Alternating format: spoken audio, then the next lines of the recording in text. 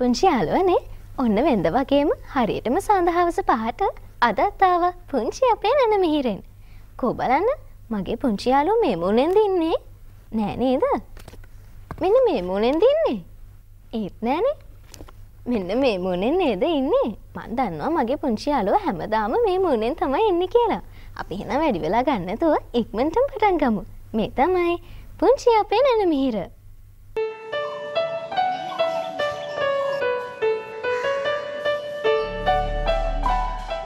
අද අපි කරන්නේ හැඟි මුත්තන් සෙල්ලම.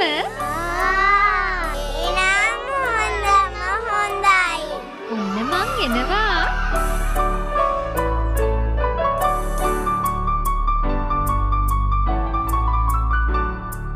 මොකද මේ මුතුනේ කතන්දරේ? එන්නකෝ කියලා දෙන්න.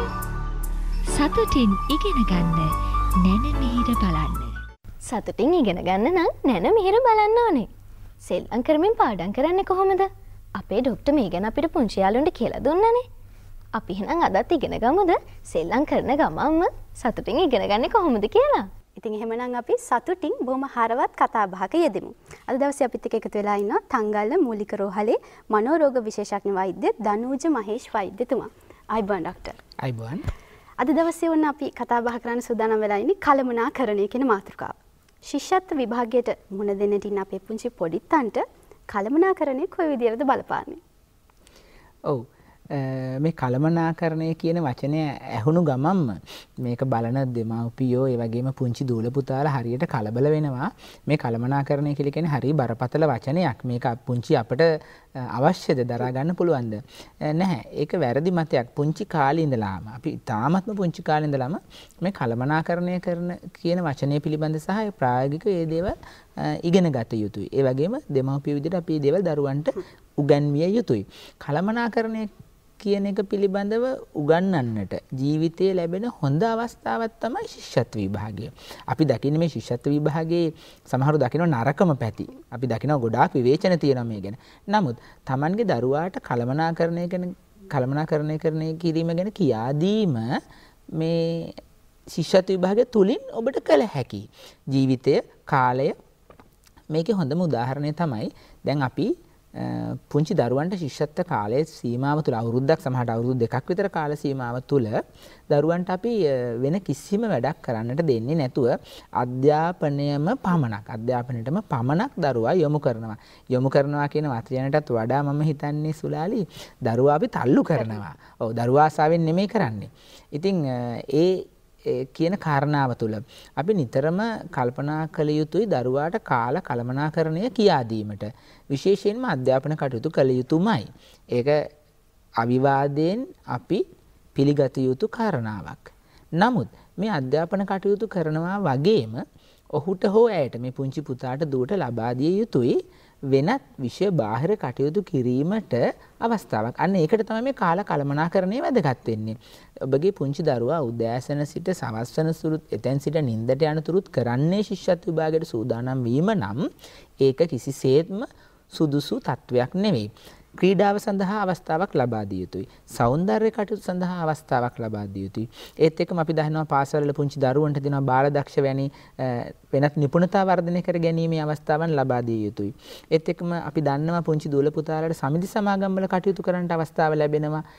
ඒ වගේ කටයුතු වලදී අපි ඔවුන් උනන්දු කරලා ඒවාට යොමු කළ යුතුයි. මෙන්න මේ ආකාරයට ඒ වගේම තමයි විනෝදාංශ. අපි දන්නවා පුංචි කාලේ අපි හැමෝටම විනෝදාංශ තිබුණා. දැන් සමහර වෙලාවට දුක හිතෙන සමහර දරුවෝ දිහා දැක්කම ඔවුන්ට Tamanගේ විනෝදාංශයක් කරන්නට කොතරම් වමනාව තිබ්බත් ඒකට කාලයක් නැහැ. ඒ වෙනුවෙන් කාලය කැප කරන්නට බෑ. මේ කරන වැඩිහිටියන් කරන තල්ලු කිරීම තුළ ඒ නිසා ඔබගේ දරුවාට විනෝදාංශයක් ඔහු කරගෙන ආපු එසේත් නැත්නම් ඔහු ආස කරන විනෝදාංශයක් කර ගැනීමට අපි කාලයක් ලබා දිය යුතුයි. මෙන්න මේ කියන සියලුම කාලයත් සමග තමයි අධ්‍යාපනය සඳහා අපි කාලය වෙන් කළ යුත්තේ. හොඳයි. කලබනාකරණය කියලා කියන්නේ ડોක්ටර් කිව්වා වගේ අධ්‍යාපනයට විතරක්ම යොමු වීම නෙමෙයි. අධ්‍යාපනයෙන් එහාට ගිහිලා විෂය බාහිර කටයුතු වලටත් තමන්ට ලැබෙන විදියට නිවැරදිව කාලය කළමනාකරණය කරගෙන තමන්ගේ කටයුතු කිරීම. ඉතින් මේ කාරණාවේදී දෙමාපියන් වැඩිහිටියන් විදියට මොකද්ද කළ යුතු නිවැරදිම දේ? ඔව්. මේ කාරණාව තුළ දෙමාපියන් වැඩිහිටියන් විදිහට අපි කල්පනා කළ යුතු දේ තමයි අපි හිතට ගන්න ඕන කාරණාව තමයි මේ කියන සියලුම දේවල් ලබා දීම තුළ දරුවාට අධ්‍යාපන සහ විෂයභාර කටයුතු ලබා දීම තුළ දරුවාගේ සංවර්ධනයට රුකුලක් ලැබෙනවා. ඒ කියන්නේ දරුවාගේ කායික සහ මානසික සංවර්ධනය කියන කාරණා දෙක ඇතිවීමට නම් ඒක නොකඩවා පවත්වාගෙන යාමට නම් ඒක දියුණුවන්නට නම් දරුවාට මේ කියන විෂය බාහිර කටයුතුත් විෂය කටයුතු වලට සමගාමීව සිදු කිරීමට අවස්ථාව ලබා දිය යුතුයි. ඒ තුලින් තමයි දරුවා ජය පරාජය දෙක විඳ ගන්න පුරුදු වෙන්නේ. නිර්මාණශීලී බව ඇති වෙන්නේ දරුවාට කලා කටයුතු කෙරෙහි ඇතිවන උනන්දුව තුලින් දරුවාගේ මනස සැහැල්ලු වෙන්නේ. මේ දේවල් සියල්ලම අයින් කරලා අපි දරුවාට තියෙන ආදරය නිසා කියන අපි නොදැනුවත්කම නිසා කරන කාරණාව තුල දරුවා අධ්‍යාපනය තුලටම තල්ලු කරනවා. මෙතෙන්දි වෙන්න පුළුවන් දේ උදාහරණයක් විදිහට මේක වර්ධනය වෙන මනසක්. වර්ධනය වෙන මොලයක් තියෙන. මේ අපි කියන අවුරුදු 10 11 කියන පුංචි වයස් සීමාව. ඔබගේ දරුවාගේ මේ වර්ධනය වෙන මොලේ අපි හැම පැතිකඩක්ම වර්ධනය වීමට ඉඩකඩ සලසා දිය යුතුයි. එක් පැත්තකට පමණක් තල්ලු කරලා ඒ පැත්තෙන් පමණක්ම අධ්‍යාපනයෙන් පමණක්ම ඉදිරියට යන්නට බල කිරීම තුළ වෙන්නේ දරුවාගේ දක්ෂතාව මොටවීමක්. උදාහරණයක් අද දවසේ සරුංගලයක් හදන්නට ආස කරන දරුවා අනාගතයේදී තවත් වසර 25කින් 30කින් අපේ පුංචි රටට හස් යාත්‍රාවක් හදන්නට තරම් දක්ෂයෙක් වෙන ඉංජිනේරුවරයෙක් වෙන්නට පුළුවන්. නමුත් ඔහුට ශිෂ්‍යත්ව විභාගයේ මේ කරන ප්‍රශ්න පත්‍රයේදී ලකුණු අඩුවන්නට පුළුවන්. ඒක නිසා අපි හිතනවා මේ දරුවට වැඩ කරන්න බැරි ළමයෙක් කියලා අපි අර කියන අවස්ථාවත් මගහරලා තව දුරටත් අපි පන්ති අමතර පන්තිත් ඒ වගේම තවත් ප්‍රශ්න පත්‍ර කර කර දරුවා කොටු කරන්නට බලනවා. ඒ නිසා මේක හොඳින් හිතට ගන්නට ඕන කාරණාවක්. මේ දරුවාට පුළුල් පරාසයක් තුල වෙනස් වෙනස් කටයුතු වලට යෙදීමට අවස්ථාව අපි ලබා දෙන්නට ඕන දරුවාගේ මානසික කායික සංවර්ධනයට අතිශයින්ම වැදගත් වෙන කාරණාවක්. හොඳයි. ડોක්ටර් ගොඩක් වෙලාවට අපිට මේ සමාජයේ අහන්නට දකින්නට ලැබිලා තියෙනවා මේ දෙමාපියන් තුල මතයක් තියෙනවා මගේ දරුවා මේ විෂය බාහිර කටයුතු වලට ඒ තරමටම දක්ෂතාවයක් නොදක්වන හින්දා තමයි මම අධ්‍යාපනයට මගේ දරුවව වැඩිපුරම යොමු කරවන්නට හැමතිස්සෙම උත්සාහ කරන්න කියලා. මේක කොයි විදියටද දරුවට බලපාන්නේ? ඇත්තටම මේක හොඳද? ඔව් මේක මම හිතන්නේ දැන් ආකල්පමය වශයෙන් දෙමව්පියන් වැඩිහිටියන් විදියට අපි වෙනස් විය යුතුයි. ඒ ආකල්පමය වෙනස තමයි දරුවා දක්ෂ නැහැ කියලා අපි කියනවා වෙනත් කටයුතු වලට. දැන් මම සුලාලි කියන කතාවට එකඟයි. අපේ පුංචි දූල පුතාලට ගුඟාක් වෙලාවට අම්මා තාත්තා කියනවා ඔයාට දක්ෂ නෑ. ඔයා ක්‍රීඩාවට දක්ෂ නෑ. බලන්නකෝ ඔයා පෙරදුනා. ඒ නිසා ඔයා මේ මේක අයින් වෙලා අපි ඉගෙන ගමු.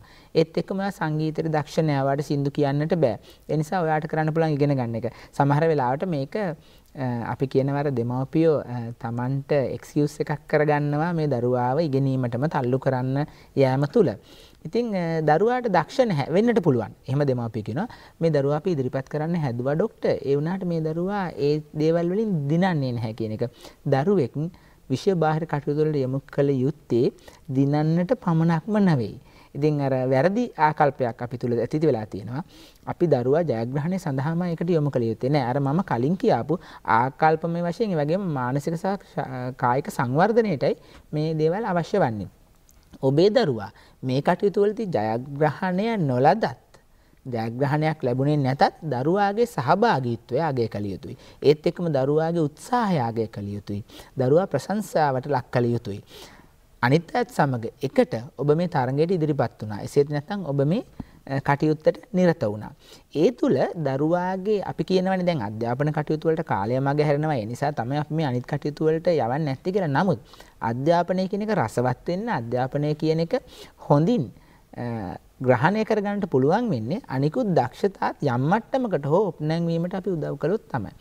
එක්තරා උදාහරණයක් මට මතක් වෙනවා. පුංචි දරුවෙක් අපි හැමෝම බලනවනේ පුළුවන් තරම් අර ජනප්‍රියම කියන පාසලකට යොමු කරන්නට. එහෙම පාසලට යොමු කරලා මේ ශිෂ්‍යත්ව විභාගයට කලින් මේ අම්මලා තාත්තලා යම් උත්සාහයක් දරලා වෙනත් පාසලකට ඔය ජනප්‍රිය කියන පාසලකට දරුවා දාලා ඒ දරුවාට මේ පාසලේදී දරුවාට බැරි වුණා මේ වෙනස් වීම දරා ගන්නට. ඔහු යන්නේ. වෙනස්ම පරිසරයකට සමහරට ගමේ පාසලට ගිහිල්ලා එක්ක වරටම මේ නගරේ පාසලට ගියාම ඇති වෙන ආතතියන් දරා ගන්නට බැරි වෙන වටපිටාව. මේ තුලදී දරුවා කොහොමද මේ කටයුතු දරාගත්තේ? මේ දරුවා දක්ෂයි ක්‍රීඩාවට. පළවෙනිම තිබිච්ච නිවාසාන්තර තරගයේදී දරුව ජයග්‍රහණය කරනවා. ඒ ජයග්‍රහණය කිරීම තුළ දරුවාට අභිමානයක් ගොඩනැගෙනවා. පාසලේ හැමෝම දරුවා ගැන කතා කරන්න ගන්නවා. අර කාලයක් තිස්සේ මාස කිහිපයක් තිස්සේ අලුත් පාසල නිසාවෙන් මුළු ගැන්වෙලා හිටිය දරුවා අර ක්‍රීඩාවෙන් දක්ෂතාවය දැක්වුණාට පස්සේ ගුරුවරු ආදරය කරන්නට ගන්නවා. අනිත් දරුවන් තුළ කතා බහට ලක් වෙනවා. ඊට පස්සේ දරුවා අධ්‍යාපනය කියන එකත් හොඳින්ම කරගෙන ගියා. අවසානයේ කෙලවරුනේ ඒ දරුවා ශිෂ්‍යත්වයෙන් ඉහළම ලකුණක් අරගෙන සමත් වීම. දරුවාගේ අභිමානය ගොඩනංවන්නට ඔබගේ දරුවා පාසලට ආස කරවන්නට අධ්‍යාපන ආස කරවන්නට නම් ඊට පරිබාහිර කටයුතු වලටත් ඔබ යොමු කරලා ඔහුගේ දක්ෂතා අගය කරලා ඒ තුළ ඔහුට වටපිටාවක් සකස් කළ දිය යුතුයි ඉදිරියට යෑමට.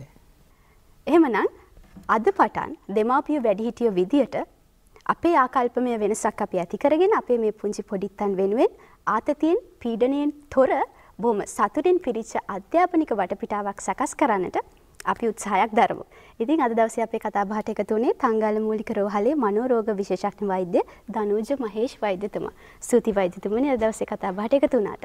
පුංචි යාළුවෝ සතුටු මුණෙම ඉන්නවනේ. පුංචි විරාමයකට ගිහිල්ලා එන්නම්.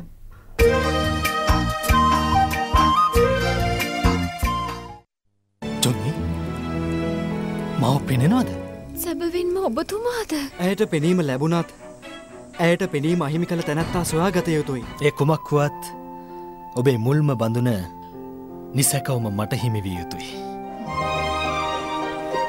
සමුදා සිට බ්‍රහස්පතින්දා මද දක්වා මේ බඳුන් සාධන පස්වරුහයට තැනත් තියවන්න. ජාතික රූපවාහිනිය අත්තටංගොඩ සිරිමැටි සිත්තරාවී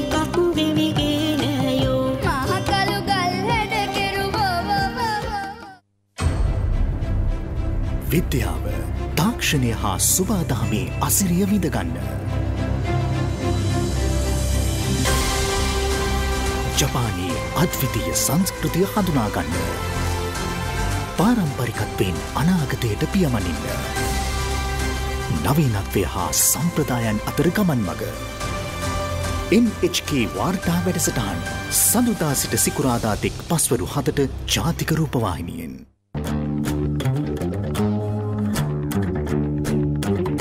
සංගීතය විශ්ව භාෂාවක්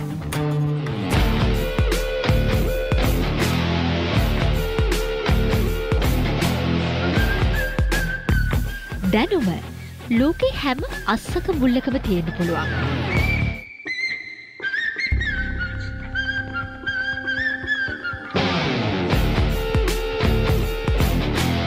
රසවින්දනයක් තාක්ෂණයක් විනෝධයක් එකතු වුණ තැන බදාදා නොලෙජ් ෆස්ට.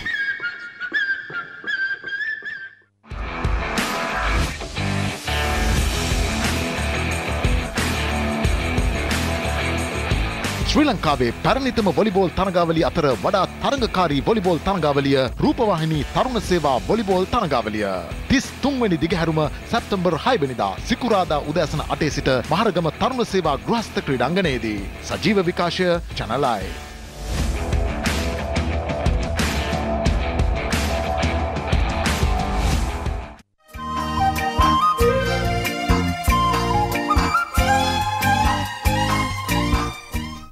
යාළුවෝ චුම්බක වර්ග ගැන දන්නවනේ. චුම්බක වලින් බෝලයක් හදන්න තමයි හදන්නේ. මම නම් දැනන් හිටියේ නැහැ. හැබැයි ලහිරුස තමයි අපිටත් කියලා දුන්නේ.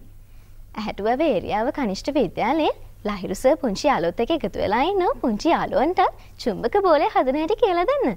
ඉක්මනට මේ පැත්තටත් ගිහිල්ලා එමු. ආයිබෝවන් දරුවනේ හරි ඔන්න අද අපි ඔයාලට කියලා දෙන්න හදන්නේ පරිසරය ආශ්‍රිත ක්‍රියාකාරකම් කියන අපේ පාඩමේ විශේෂයෙන් තියෙන මේ චුම්බක සම්බන්ධයෙන් නිර්මාණය කරන්න පුළුවන් ලස්සන නිර්මාණයක් පිළිබඳව. ඔයාලා දන්නවද අද මං හදන්න යන්නේ මොන විදිහේ නිර්මාණයක්ද කියන එක ඔයාලට කියන්න පුළුවන්ද? මොන විදිහේ නිර්මාණයක්ද? අන්න හරි. ඔයාලා මේ මං ගෙනල්ලා තියෙන මේ උපකරණ ටික දැක්කහම ඔයාලා අඳුරගත්ත නිකම්ම මේක මං අද හදන්න යන්නේ කාන්දම් බෝලයක් කියන එක. නේද? හරි. එතකොට දරුවනේ මේ කාන්දම් වර්ග කීපයක් අපි ඉගෙන ගන්නවා. පරිසරය ආශ්‍රිත ක්‍රියාකාරකම් කියන විෂය යටතේ කාන්දම් වර්ග කීපයක් ගැන අපි ඉගෙනගෙන තියෙනවා. මොනවාද තියෙන කාන්දම් වර්ග? දණ්ඩ චුම්බකය ඔව්. ගුලාක් චුම්බකය මුදු හැඩේ චුම්බකය ඔව්. රවුම් හැඩේ චුම්බකය අන්න හරි. ඔන්න ඔය කියපු චුම්බක වර්ග කිහිපයම ගැන අපි ඉගෙන ගන්න. ඉතින් ඔන්න ඔය චුම්බක පුතේ ඔයාලා කියපු චුම්බකවල විවිධ ගුණයන් තියෙනවා. විශේෂයෙන් ප්‍රධාන ගුණයන් දෙකක් ඔය චුම්බක වල තියෙනවා. කියන්න පුළුවන්ද සචිනිට මොනාද තියෙන ප්‍රධාන එක ගුණයක් කියන්න පුළුවන්ද? ආකර්ෂණ බලය හරි පුතේ. ඔන්න ඔයාලා මට දැන් කිව්වා මේ චුම්බකවල තියෙන එක ගුණයක් තමයි ආකර්ෂණ ගුණය කියලා. ඉතින් දරුවනේ ආකර්ෂණ ගුණය කියලා කියන්නේ මේ චුම්බකවල ඇද ගැනීමේ තියෙන හැකියාව. ඒකට චුම්බක එකිනෙක ඇද ගැනීමට තියෙන හැකියාවට අපි ආකර්ෂණ ගුණය කියලා කියනවා. ඉතින් මේ චුම්බකවල තවත් එක ගුණයක් තියෙනවා. කියන්න පුළුවන්ද මොකක්ද අනික් ගුණය කියලා? විකර්ෂණ බලය අන්න හරි. විකර්ෂණ ගුණය. විශේෂයෙන් පුතේ මොකක්ද මේ විකර්ෂණ ගුණයක් කියලා කියන්නේ? විකර්ෂණ ගුණය කියලා කියන්නේ ඒවා ඒ චුම්බක දෙකක් විකර්ෂණ ගුණය තියෙන චුම්බක දෙකක් අපිට එකිනෙක ලං කරන්න පුළුවන්ද? බෑ. ඒක මොකද වෙන්නේ? එකිනෙක ඈත් වෙනවානේ. එකිනෙක ඈත් වෙනවා. ඉතින් අන්න ඔය විකර්ෂණ ගුණය පදනම් කරගෙන තමයි මම අද මෙන්න මේ නිර්මාණය ඔයාලට කියලා දෙන්නට හදන්නේ. තේරුණාද? එතකොට අපි මේ නිර්මාණය හදන්න අවශ්‍ය කරන ද්‍රව්‍ය කිහිපයක් තියෙනවා. අන්නේ ද්‍රව්‍ය ඉස්සෙල්ලම් මම ඔයාලට හඳුන්වලා දෙනවා. ඔයාලට දැන් කියන්න පුළුවන් මම මේ පෙන්වන ද්‍රව්‍ය මොනවද කියලා. හරි. ඔන්න මම එක ද්‍රව්‍යයක් මම ඔයාලට පෙන්නනවා. මේක මොකක්ද? මොකක්ද? මට මේ කාර්ය සඳහා නූලක් අවශ්‍ය වෙනවා. ඒ වගේම තව මම යොදාගත්තා චුම්බක දෙකක්. මොනවා දෙකක්ද? චුම්බක දෙකක් මේ සඳහා යොදාගත්තා. එක චුම්බකයක් මගේ මෙන්න තියෙනවා මගේ මේසෙ උඩ. ඒ වගේම තව චුම්බකයක් මම මේ ප්ලාස්ටික් බෝලෙට සම්බන්ධ කරලා ගෙනාවා. එතකොට ඔයාලටත් පුළුවන් චුම්බක දෙකක් අරගෙන එක චුම්බකයක් මෙහෙම බෝලයට සවි කරලා මේ විදිහට අපේ නිර්මාණය කරගන්න නිර්මාණය සකස් කරගන්න යොදා ගන්න. ඔන්න බෝලයට සම්බන්ධ කරපු චුම්බකේ මම පැත්තකින් තියලා තියෙනවා. හරි. තව මම ඔයාලට හදාගෙන ආව පුංචි ආධාරකයක්. මේක තමයි අපි මේ නිර්මාණය කරන්න අවශ්‍ය වෙන එක ආධාරකයක්.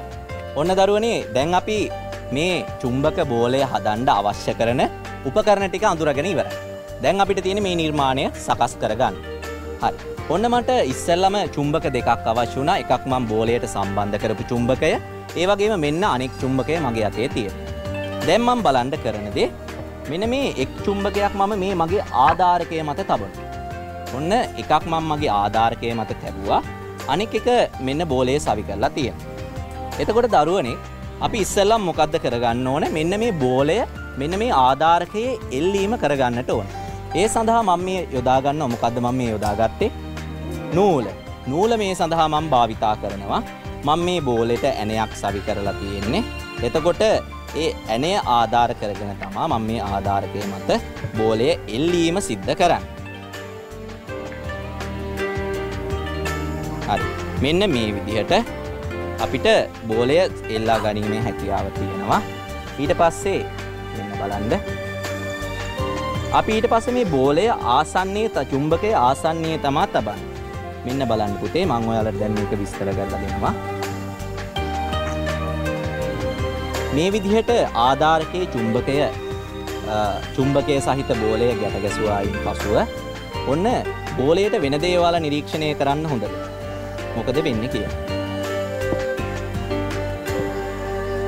මෙන්න මම බෝලේ සවි කරලා ඉවරයි. හරි නේද? හරි. ඔන්න දැන් මම බෝලේ අතාරිනවා. ඇයි පුතේ මේ බෝලේ හෙල්ලෙන්න ගත්තේ? කවුරු හරි එක දුවක් ඉස්සරහට එන්නකෝ අපි ඉස්සරහට. අදුවෙන් ඉස්සරහට. එන්න. ඇවිත් මේ බෝලේ අල්ලගන්න මෙහෙම. හොල්ලන්න නැතුව අල්ලගන්න. හරි.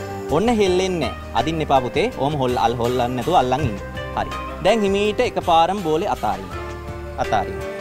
මොකද මේ බෝලෙට මේ වෙන්නේ? මොකද මේ වෙන්නේ? අන්න හරි බලන්නකෝ වෙනදා අපි කරන්නේ චුම්බක දෙකක් එකිනෙක ලං වෙච්ච ගමන් ආකර්ෂණය වීමක් සිද්ධ වෙන්නේ. දැන් අපි මේක සකස් කරගන්න මොන ගුණයද පදනම් කරගත්තේ එතකොට? අන්න හරි. චුම්බකවල තියෙන විකර්ෂණ ගුණය කියන දේ පදනම් කරගෙන තමයි අපි මේ නිර්මාණය කරේ. අපි මේක කොච්චර හොලවන්න නැතුව අත තියා අත තියාගෙන හිටියා. අත ඇරපු ගමන් එයා මොකද කරන්න ගන්න? එයා මෙන්න දඟලන්න ගන්න. ඇයි මේක විකර්ෂණය. මේක කොයි වෙලාවකවත් ලං වෙනවද?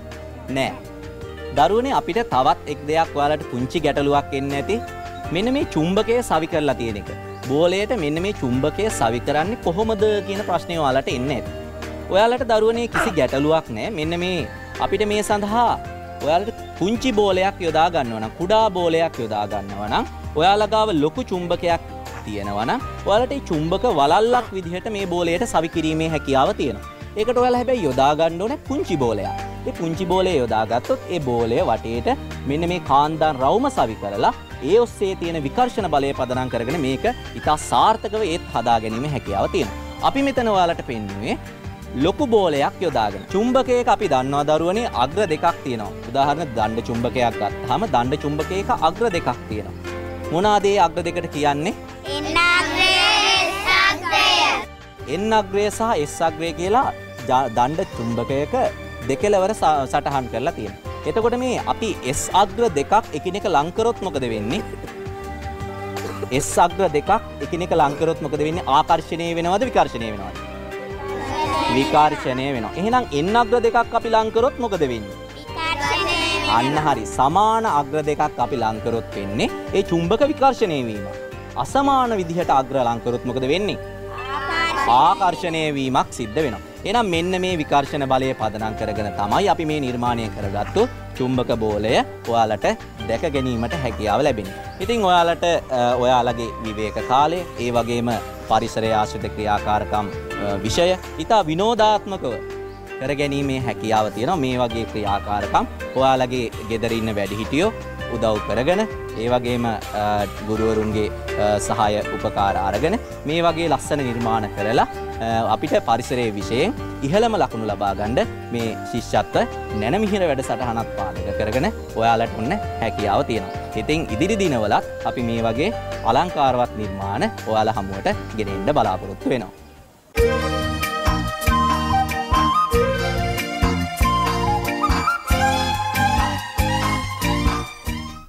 චුම්බක බෝලය හදන හැටි පුංචි යාලු ඉගෙන ගත්තනේ. අපි දැන් චුම්බක සමනලය හදන්න කොහොමද කියලා ඉගෙන ගමුද? අමිල සර් තමයි සූදානම් වෙලා ඉන්නේ පුංචි යාළුවොත් එක්ක මේ චුම්බක සමනලය හදන්න. හොඳයි පුතේ. අපේ පන්ති කාමරයේදී ඉගෙන ගත්ත වැඩ පහසු කිරීමේ මං කියන පාඩමේ අපිට එක කොටසක් තියෙනවා චුම්බක භාවිතයෙන් කරන ක්‍රීඩා භාණ්ඩ නිර්මාණය කරන එක. මතකයිනේ? හරි මට කියන්න බාන්න ඊට කලින් චුම්බකවල ප්‍රධාන ගුණ දෙකක් තියෙනවා මොකද්ද කියන්න බාන්නේ ගුණ දෙක ආකර්ෂණ බලයයි විකර්ෂණ බලයයි. ආකර්ෂණ බලයයි විකර්ෂණ බලයයි කියන ගුණ දෙක චුම්බක වල තියෙන ඒ ගුණ දෙක පාවිච්චි කරලා තමයි චුම්බක අපේ වැඩ පහසු කර ගැනීම සඳහා යොදා ගන්නු ලබන්නේ. හරි. එතකොට ඔයාලට මම පන්ති කාමරයේ කියලා දුන්න දේ අද අපි මේ එලි මහන්ට ඇවිල්ලා අපේ නැනමිහිර වැඩ සටහන්ට එකතු වෙලා අද දවසේ මේ කාන්දන් සමනල නැත්තන් චුම්බක සමනලයා අපි හදන්න තමා සූදානම් වෙන්නේ. මුලින්ම අපි මේ සමනලයා රඳවා ගැනීමට අපි පාවිච්චි කරනවා ආධාරකයක්. ඉන් පසු අපිට මූලික වශයෙන් මේක නිර්මාණය කරන්නේ කාන්දම් උපයෝගී කරගෙන. කාන්දන්න ඇත්තන් චුම්බක උපයෝගී කරගෙන එකින් දපම් වෙන්න චුම්බක කෑලි දෙක්කුත් වාල වෙනුවේ මේ සමල්ලය හදන්ඩ අරගෙනවා. ඉට පස්සේ ලස්සනට මම් පොඩි සමල්ලයකුත් ගෙනවා. මේ අපි මේක හදල බලද්දි මේ සමල්ලය පියාමන විදිිය වාලට බලාගණ්ඩ පුළුවන්. ඉළඟට අපිට ඕන පුතේ මේක අලවන්ඩ චුම්භ කලවගණ්ඩ සෙලෝ ටේප් ඕන අලවන පටි ඕන. ඉළඟට මෙ කපාගන්න මොකක් දෝන කතුරක්. අපිට ඕන. වැඩ පාසු කරගන්න තවත් උපකරණයක්.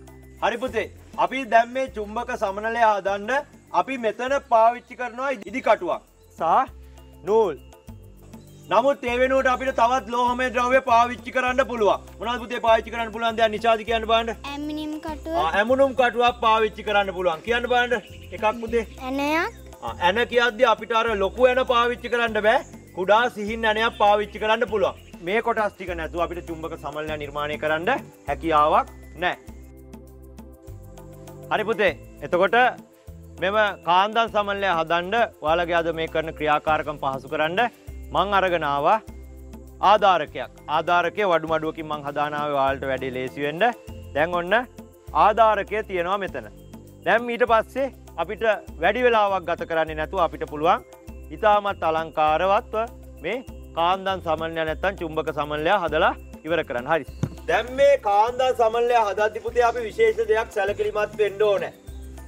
චමිදු කියන්න බාන්න මොකද විශේෂයෙන් අපි සැලකිලිමත් වෙන්න ඕන දේ කියලා කාන්දමයි සමත සමනලේ අතර පරතරයක් තියෙන්න ඕන? අන්න කාන්දමයි සමනලයයි අතර පරතරයක් හිටින ලෙස අපි මේ දේ සකස් කරන්න ඕන. ඉස්සරවම් පුතේ මේ සමනලයා ඉදිකට්ටකින් අපි සම්බන්ධ කරගන්න ඕන නූලක් යොදලා. ඒකට හේතුව තමා කාන්දම්වල ආකර්ෂණ බලය උපයෝගී කරගෙන තමා මෙම ක්‍රියාකාරකම අපි සිද්ධ කරන්න. සනේ සමුණන්ට බාන්න මේකට ඉදිකට්ටට නූල? අමුණන්න පුතේ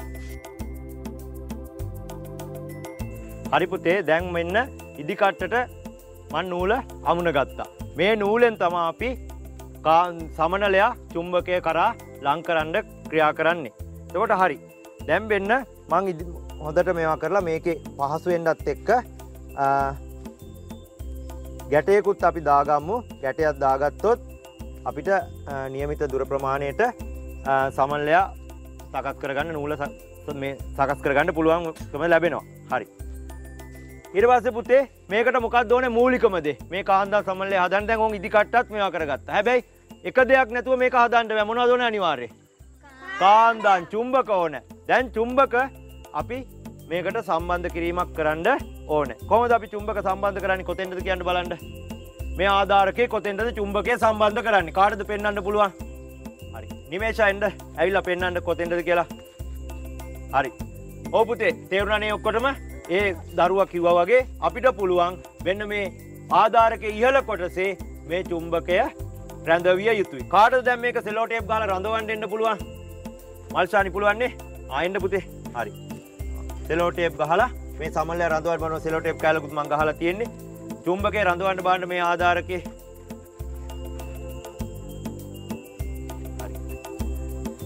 වෙන්න බලන්ඩ මල්සානි දැන් චුම්භකය සවිකෙරුවා මේ ආධාරකයට. ඉට පස්සේ දැන් අපිට තව මොනවාදඩු මංකිව මන් ලස්සන සමල්ලේ කරගනාව කියලා කිව්වා. හරිද හරි. එතකොට මේ සමනලයත් එක්ක මේ සමනලයාගේ තුඩට අපි මොකද දාන්න ඕන. අපි මේකට ගොඩක් දේවල් පාවිච්චි කරන්න පුළන් ඒකත් ඉගෙන ගණ්ඩ ඕන. ලෝහමය ද්‍රව්‍ය පාවිච්චි කරන්න පුළුවන්. එක්කෝ ඉදිකට්ටක් නැත්තම්මකත පුළන්තාව ඇමුණුම් කටු ඇමුණුම් කටු පාවිච්චි කරන්න පුළුවන් නැත්තම් බර නැති චූටි ඇනයක් මේ වගේ දේවල් පාවිච්චි කාන්න පුළන් හැබැයි වඩා සුදුසු දේ තමා මේ කාන්දම අපි දන්න කොච්චර කාන්දම් බලයකින් යුක්තද කියලා අපි දන්නේ නෑ. සමහර තියෙන අපි ගන්න කාන්දම්වල කාන්දම් බලය ඉතාමත් අඩුයි. ඒක ඉන්දා කාන්දමට ඇද ගැනීමට පහසුවෙන්ට මේ ලෝහ අඩුම බරක් සහිත ලෝහයක් තියෙන අපි ඉදිකට්ට තෝරා ගත්තා හරි. කවරුවර එක්කනෙක් ඇවිල්ල පුතේ කාටද පුළුවන්? ආයින්ඩ දාන්ඩ සමල්ලයාගේ තුඩ හැටියට.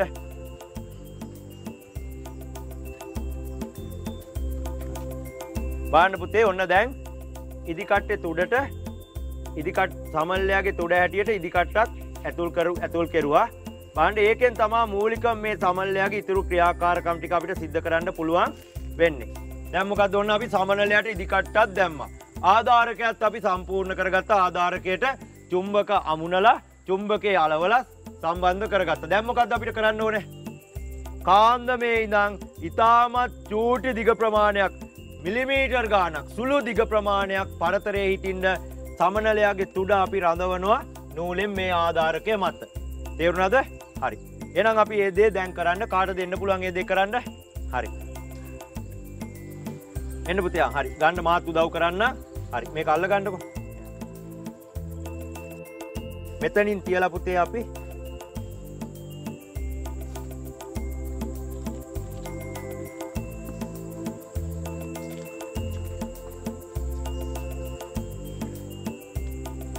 හරිපුතේ දැන් මංවාලට කියන්න හුඟ දෙනෙකුට මේ කාන්දන් සමනල ආදද්දි අපහසුතාවට පත්වෙන තැනත් තියෙනවා.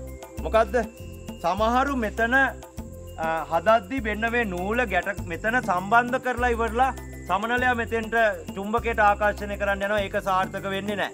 එකින්ද අපි ඉස්සරෝම කරන්න ඕනෑ චුම්භකයට සමනලයාගේ තුඩ සම්බන්ධ කරලා ඒ නූල හිමියට ගෙනල්ලා මෙතනින් ගැට ගහලා අවශ්‍ය ප්‍රමාණයට අපි පාත් කරගෙන සෙලෝටේප් එකක් ගහගණ්ඩ ඕන. තේරුණද? හරි. කපන්ඩ බාන්ඩ සෙලෝටේප් කෑල්ලක් කවරු හරි ඇවිල්ල. කපන්ඩ හරි. ඇති ඔච්චර දිග ඔන්න මේ හරි විතර කපල ගණ්ඩ ගන්නකේ කත්තට දැම්පුතේ ඔන්න බලන්න මේ සමනලයා මං අවශ්‍ය ප්‍රමාණයට පාත් කරනවා ඔයාලට සමහට මේක පොඩ්ඩක් අපහසු වෙන්න පුළුවන් ගෑවෙන බේම් බලන්ඩ මම ගෑවෙන නොගෑවෙන මට්ටමට මේ සමනලයා ගෙනාව. දැම් බලන්න මේ සමල්ලයා හොඳට නටන්න නැද්ද? නටනවා නටනවා කියන්නේ සමනලයා පියාඹන විදිහ අපිට පේනවා. මේ බලන්න හොඳට නැමිලා බලන්න පුතේ. මේ සමනලයාගේ තුඩ චුම්බකයේ ගෑවිලා තියෙනවද? ගෑවිලා තියෙනවද? අන්න ඒක තමා චුම්බකයට ආසන්නයෙන් සමනලයාගේ ආකර්ෂණ මේ අපි පාවිච්චි කරන මේ ඉදිකටු තුඩේ ආකර්ෂණ බලය උපයෝගී කරගෙන අපි චුම්බක සමල්ලයා නිර්මාණය කරපු ඉදි හරි පුතේ ගහන්න බෑ මෙතනින් සෙලෝටේප් කෑල්ල. හරි. හැමෝම කියනනේ ශිෂ්‍යත්වී භාගය අමාරුයි. බාන පුතේ කොච්චර විනෝදයෙන් අපිට මේ පාඩම් කරන්න පුළුවන්ද? දැන් මේ චුම්බක සමල්ලයා හදන්න තිබ්බේ ඔයාලගේ 3 4 5 පරිසරයේ විෂය නිර්දේශන වැඩ පහසු කිරීමේ මං කියන කොටසින් තමයි මේ සමල්ලය හදන්න තිබෙති. ඉතින් බලන්න අපිට විනෝදෙන් තමන්ගේ විවේක කාලය විනෝදවත් ලෙස ගත කරන්න මේ සමනලයා හදන්න පුළුවන්. එතකොට බලන්න අද මේ අපේ මේ වැඩසටහනත් එක්ක එකතු වෙන ලංකාවෙම ඉන්න මේ පාර ශිෂ්‍යත්ව විභාග ලියන දුවලා පුතාලට පුළුවන් මේ විදියට ඉතාමත් කෙටි කාලයක් තුළ කාන්දන් සමනලේ හදලා ඔයාලටත් විනෝදයෙන් මේ සමල්ලයත් එක්ක සෙල්ලං කරන්න වාල්ට හැකියාව තියෙනවා. චුම්බක සමනලය හදන හැටිගෙන ඉගෙන ගත්තනේ පුංචි විරාමයකට ගිහිල්ලා ලස්සන ගීතයකුත් අහලෙමු.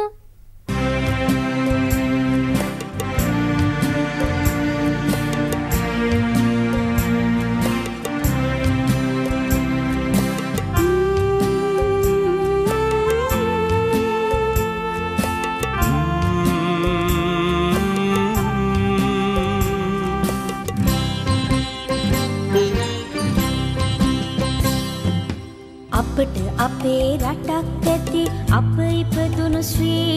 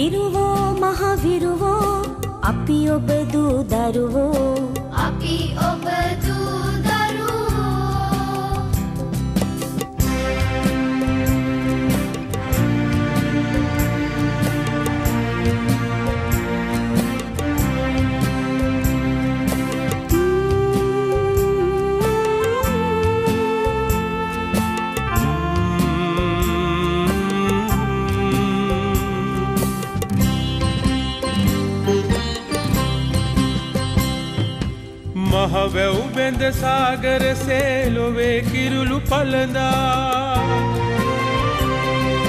මහවැව් බැඳ සාගර සේලොවේ කිරුළු පලඳා දෙය පිබිදූ නිරිඳෝ අපි ඔබ දූ දරුවෝ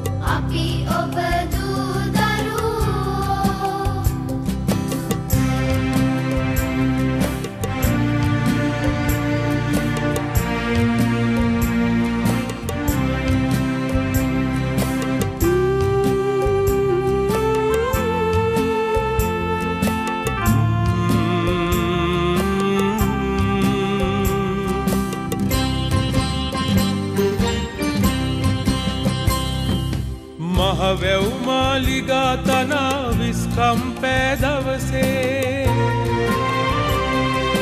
මහවැව් මාලිගා තනා විස්කම්පෑ දවසේ සූරවීර මුත්තෝ අපි ඔබ දූ දරුවෝ අපි ඔබ දූ දරුවෝ. අපට අපේ රටක් ඇති අප ඉපදුන ශ්‍රී ලංකා ශ්‍රී ලංකා අපේ උරුමය ශ්‍රී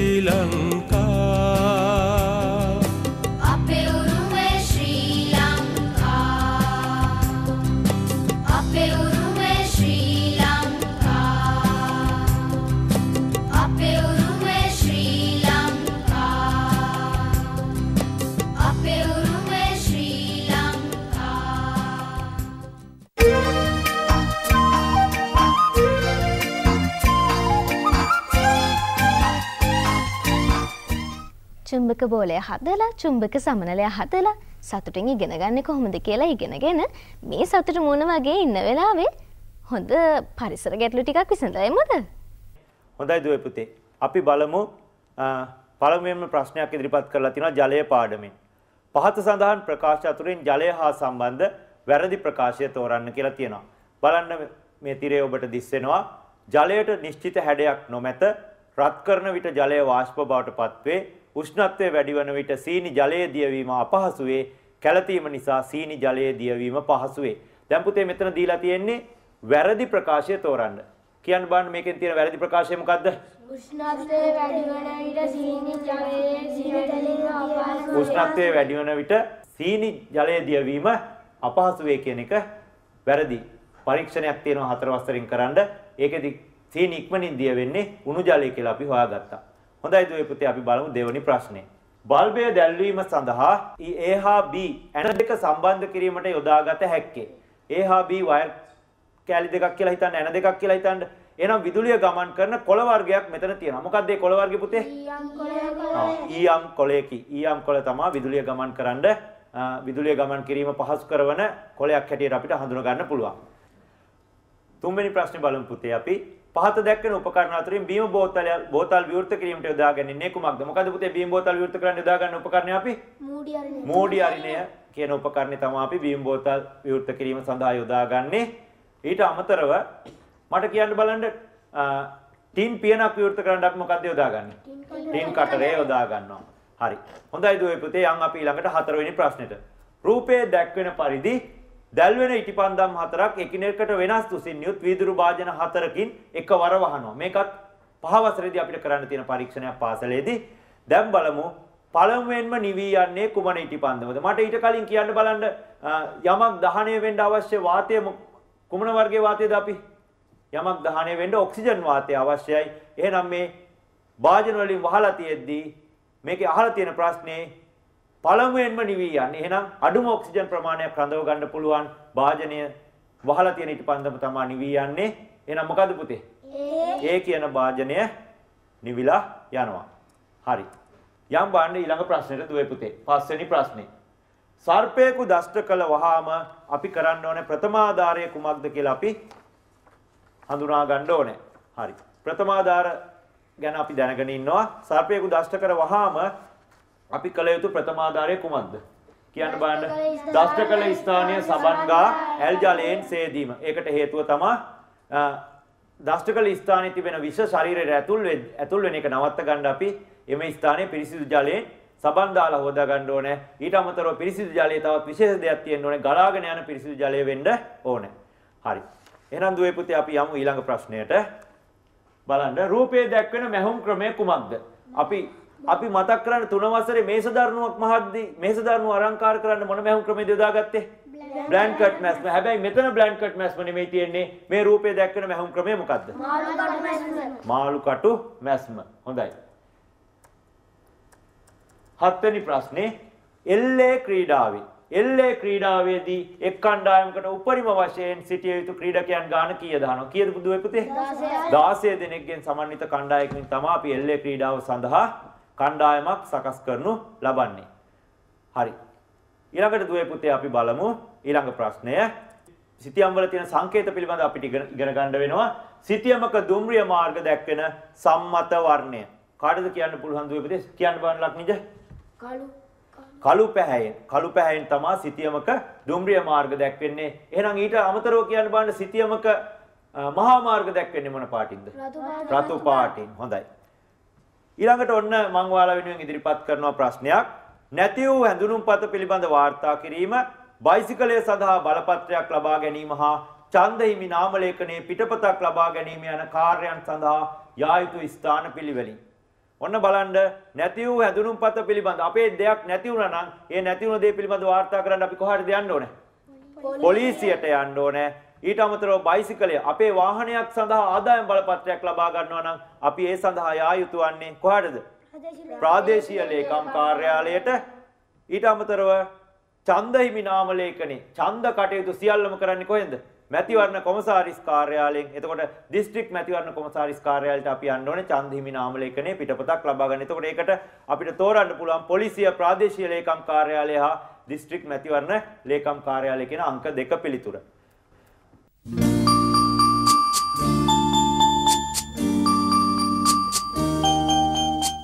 මීළඟට පුතේ අපි කතා කරන්න යන්නේ වැඩ පහසු කිරීමේ මං කියන පාඩම යටතේ අපි ගන්නවා අපි ඉගෙන ගන්නවා කර්මාන්ත පිළිබඳව. එතකොට කිනිහිර කිනිහිර කියන උපකරණය භාවිතා කරන්නේ කුමන කර්මාන්තයේද කියලා අහනවා. මොන කර්මාන්තයේද දුවේ පුතේ කිනිහිර කියන එක භාවිතා කරන්නේ? කම්මල් කර්මාන්තයේදී කිනිහිර කියන උපකරණය අපි භාවිතා කරනවා. කිනිහිර පාවිච්චි කරන්නේ මොකේද? කම්මල් කර්මාන්තය තුල. යකඩ රත් වෙච්ච යකඩ තලා ගන්න තමා රත් වෙච්ච යකඩ තියලා තලන තැන ස්ථානය තමයි අපි කිනිහිර කියලා හඳුන්වන්නේ. හොඳයි. අපි කවුරුත් දන්නවනේ අහස සහ පොළොව පාඩම.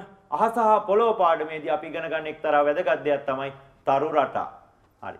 අපේ පහේ සිංහල පොතේ තරු රටා තියෙනවා. දැන් බලන්න මෙන්න මේ මම රූපයක් ඉදිරිපත් කරනවා. මේ රූපයේ දැක්වෙන තරු රටාව මොකක්ද? අපිට ආසේ දකින්න පුළුවන්. ගෝනුස්සා කියන තරු රටාව අපිට දැක් ගන්න පුළුවන්. ඊට අමතරව අපිට මහා වලසා, එඬේරා, නගුල් තරුව, මිතුන මේ වගේ තරු රාශියක් අපිට රාත්‍රී අහස නිරීක්ෂණය කරද්දී අපිට අඳුර ගන්න හැකියාව තියෙනවා. හරි. හොඳයි දුවේ පුතේ අපි දැන් මේ පරිසරයේ ප්‍රශ්න කරගෙන යන අතරේ ජාතික කොඩිය පිළිබඳ විස්තර ටිකක් අපි බලලා ඉමු. දුවේ පුතේ මේ ඔබ දකින්නේ අපේ රටේ ජාතික කොඩිය. අපි බලමු මේ එක එක රූපවලින් සංකේතවත් වෙන්නේ මොනවද කියලා. රතු පැහැති පසුබිමේ කඩුව අතින්ගත් සිංහරූපය. සිංහල ජාතිය. තැඹිලි පාට තීරුවෙන් දෙමළ ජනවර්ගය නියෝජනය.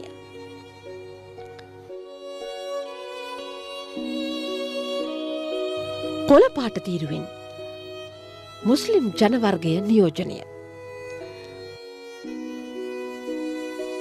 කොඩිය වටකර යෙදූ කහපාට තීරුව. කොඩියේ නිමාව සහ ජාතියේ එකමුතු බව. සතරකුණේ දැක්වෙන බෝකොල හතර.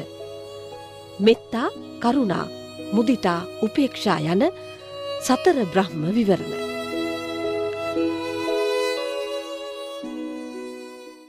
දැන් ජාතික කොඩිය පිළිබඳ විස්තර බැලුවනේ පුතේ. මේ බලපු විස්තර වලින් මම ඔයාලගෙන් ප්‍රශ්නයක් අහනවා. ශ්‍රී ලංකා ජාතික කොඩියේ දමිළ වර්ගය නිරූපණය වෙන්නේ මොන පාටින්ද කියලා. මොන පාටින්ද දුවේ පුතේ? තැඹිලි පාටින්. මම ඒකෙදි ඔයාලට කෙටි ක්‍රමයක් කියලා දෙන්නම්. ජාතික කොඩියේ වර්ණ ජාතීන් නියෝජනය වෙන වර්ණ දෙක මතක තියාගන්න. තැඹිලි දෙකයි කොළ මුල්ලයි කියලා මතක තියාගන්න. තැඹිලි දෙකයි කියද්දි තැඹිලි පාටින් දෙයන්නේ දෙමළ කොළ මුල්ලයි කියද්දී කොළ පාටින් මුයන්න කියවෙනවා ඊළඟට මුස්ලිම් ජනවර්ගයේ කොළ පාටින් නියෝජනය වෙනවා. හරි. හොඳයි දුවේ පුතේ. අපේ ජාතික කොඩිය හා වැදගත්ම දෙයක් තමයි අපේ රටේ තියෙන රාජ්‍ය ලාංඡනය. හොඳයි. අපිට පුළුවන් මේ වෙලාවේ රාජ්‍ය ලාංඡනය පිළිබඳව කෙටි විස්තරයක් ඔයාලා වෙනුවෙන් ඉදිරිපත් කරන්න. අපි දැන් බලමු අපේ රටේ රාජ්‍ය ලාංඡනය. පුන් කලසින් සෞභාග්‍යයේ සංකේතවත් වනවා.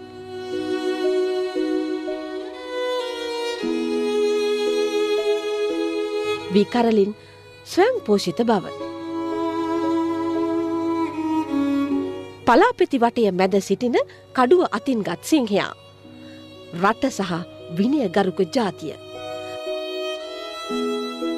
ධර්ම චක්‍රයෙන් ධර්මය නොයසේ නම් ධාර්මික බව. ඉරහා හද සදාකාලික පැවැත්ම.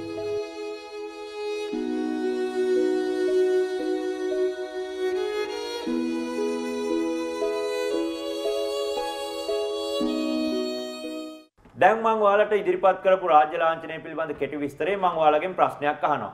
බලන්න ශ්‍රී ලංකා රාජ්‍ය ලාංඡනයේ ඇති පුන් කලසින් අදහස් වෙන්නේ කුමක්ද කියලා. මොකද්ද පුතේ පුන් කලසින් අපි අදහස් කරන්නේ? සෞභාග්‍ය සෞභාග්‍ය කියන දේ තමයි අපි පුන් කලසින් අදහස් කරන්නේ. හොඳයි. අපේ පැරණි රජවරු අපේ අතීත විත්ති පාඩමේදී අපි ඉගෙන ගත්තා අපේ රට සරුසාර කරන්න වැව් රාශියක් ඉදි කරලා තියෙනවා කියලා. මෙහිදී අපි අඳුර ගන්න සුවිශේෂී වැවක් තියෙනවා. ඒ වැව තමයි මොකද්ද?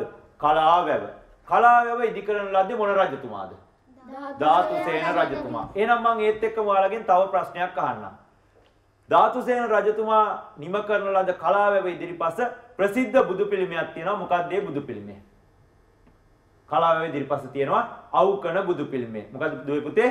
අවුකන බුදු පිළිමය කලාවැව ඉස්සරහා තියෙන ප්‍රසිද්ධ බුදු පිළිමයක් හැටියට අපිට හඳුන ගන්න පුළුවන්. මෙන්න ඊළඟට මම ඉදිරිපත් කරනවා ඔබට අපේ රටේ තියෙන තවත් ඓතිහාසික ස්ථානයක්. මේක දැකපු ගමන් අපිට මුදල් නෝට්ටුවක් මතක් වෙනවා. මෙන්න බලන්න මම ඔයාලට ඉදිරිපත් කරනවා මේ රූපේ. මතක් කරගන්න බලන්න මෙම ස්ථානයේ තියෙන කිසියම් සංකේතයක් රුපියල් 10 නෝට්ටුවේ තිබ්බා. මොකක්ද ඒ සංකේතය? යාපහුවේ සිංහ රූපය. යාපහුවේ සිංහ රූපය තිබ්බා. එතකොට යාපහුවේ සිංහ රූපය තිබ්බේ රුපියල් 10 නෝට්ටුවේ. එතකොට දැන් මේ ස්ථානයේ තියෙන එහෙනම් මේ බලකොටුව මොකද්ද? යාපහුව බලකොටුව හැටියට අපිට අඳුන ගන්න පුළුවන් අපේ පැරණි රාජධානියක් හැටියට. මම රාජධානි මතක තියාගන්න ඔයාලට කියලා දීලා තියෙනවනේ. මොකද්ද? අපෝදයා කුඩේ ගණින්කෝ මගේ. මොකක්ද ඒකේ තේරුම? අනුරාධපුරයේ පොළොන්නරුව, දඹදෙනිය, යාපහුව, කුරුණෑගල, ගම්පොළ, කෝට්ටේ, රයිගම, සෙන්කඩගල කියන රාජධානි ටික අපිට මේ කවිය තුලින් අපිට අඳුනා ගැනීමේ හැකියාව තියෙනවා. එතකොට අපේ රාජධානි පිළිවෙල මතක් කිරීමක් මේ අවස්ථාවේදී ඔයාලට දැනගන්න ලැබුණා.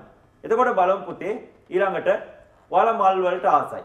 රාත්‍රී කාලයේ පිපෙන මල්, සවස් කාලයේ පිපෙන මල්, උදේ කාලයේ පිපෙන මල් කියලා අපි මල් වෙන් කරලා හඳුන ගන්නවා. දැන් මේ තියනවා බලන්න රාත්‍රී කාලයේ පිපෙන මලක් වන්නේ. කියන්න බලන්න දුවේ පුතේ රාත්‍රී කාලයේ පිපෙන මලක් මොකද්ද? සේපාලිකා මල රාත්‍රී කාලයේ අපිට පිපෙන මලක් හැටියට හඳුන ගන්න පුළුවන්. එහෙනම් මට කියන රාත්‍රී කාලයේ පිපෙන මල් වල විශේෂ පැහැයක් තියෙනවා. මොකද්ද පැහැය? ඒකට හේතුව මොකද්ද? රාත්‍රී කාලයේ පිපෙන මල් සුදු පාට වෙන්න විශේෂ හේතුවක් තියෙනවා. කෘමීන් කෘමීන් ඇද ගැනීම සඳහා කෘමීන්ට පෙනීම සඳහා තමා රාත්‍රී කාලයේ පිපෙන මල් සුදු පාට වෙන්නේ. එහිදී කෘමීන් මේ මල් වෙත ඇදිලා එන්නේ පරාගණය සඳහා. විශේෂ මේ සුවඳක් පිට කරනවා සමහර මල් සුදු පාට වීම රාත්‍රී කාලයේ පිපෙන මල් වල සුවිශේෂී ලක්ෂණයක්.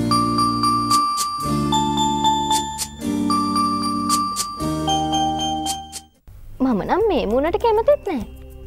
මෙන්න මේ මූුණට කැමතිත් නැහැ. හැබැයි මෙන්න මේ මූුණට නම් කැමති.